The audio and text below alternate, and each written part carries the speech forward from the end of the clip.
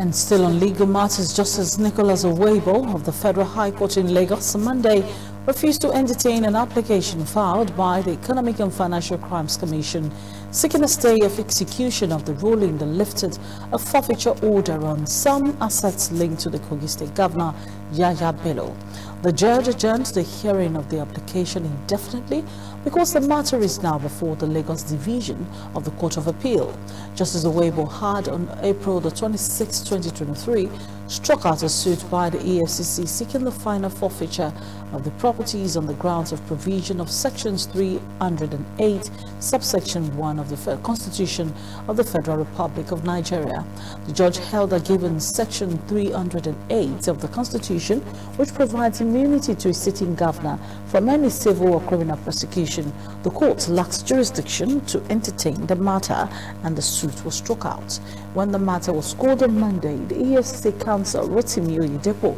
senior advocate of Nigeria, informed the court he had filed an application dated the 27th of April 2023 seeking a stay of execution of the ruling pending the outcome of the appeal of, on the case. But in his response, Counsel to Kogi State Governor Ako Ocheni asked the court to strike out the application because the anti-graft agency failed to comply with the rules of the court, which mandated to file a written address alongside with the application.